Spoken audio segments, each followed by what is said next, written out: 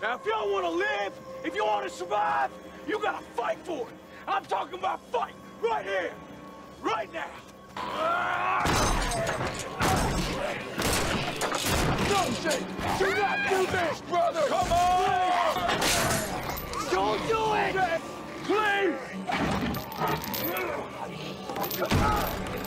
Jake, do not Come do on. it. Get behind me.